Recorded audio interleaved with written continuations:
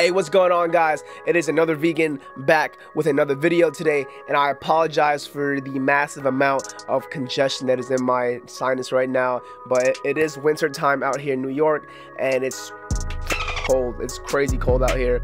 Anyways, that is besides the point. Let's get straight into the topic of today, which is flipping samples or loops and making them sound different and making them sound your own. Now, shout out to my guy Cripz for the suggestion. He let me know in the comments what kind of video he would like to see, and I encourage you guys to do the same. Hold on. Before anything else, if you guys haven't already subscribed to the channel, go down and click that subscribe button if you guys don't want to miss any content. I release new videos weekly, bi-weekly, depending on my schedule. Anyways, let's go straight into FL Studio. All right, guys, so now that we're in FL Studio, let's go. Let's go ahead and actually listen to the original sample. I downloaded this off of Looperman. Honestly, I used to do this all the time when I first started making beats. I didn't really have the coolest VSTs. So let's go ahead and listen to this sample real quick.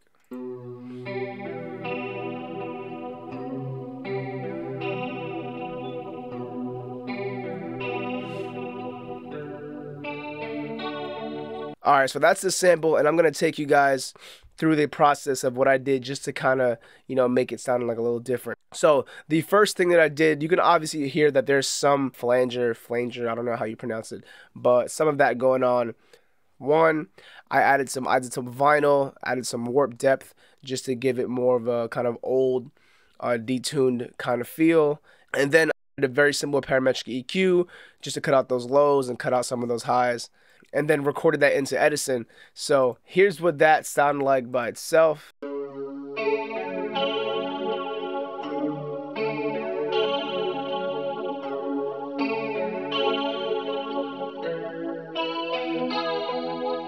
So just a slight, slight difference, nothing too crazy.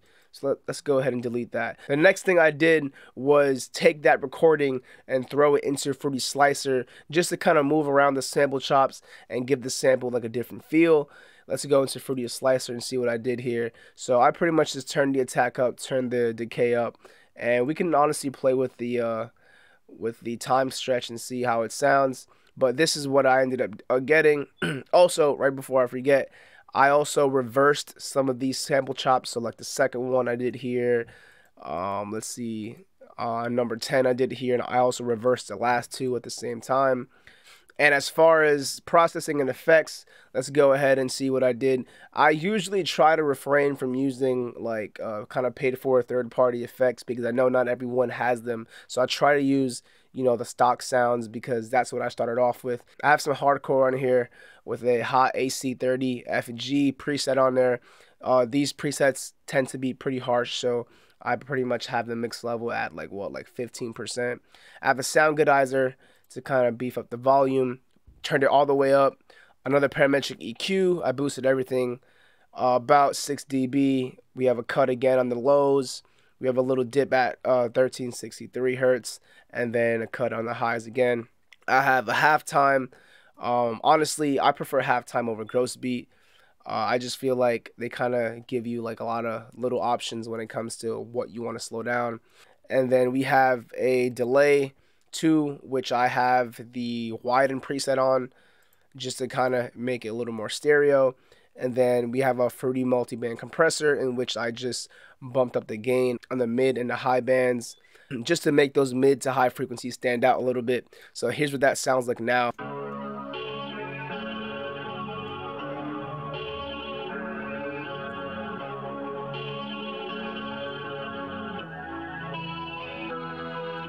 So that's what the sample sounds like now.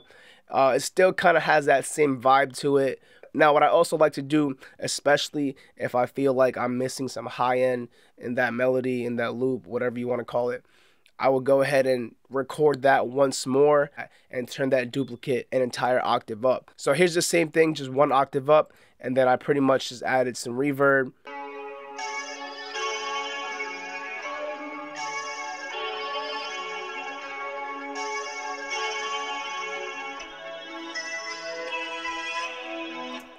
And now both of those together sound like this.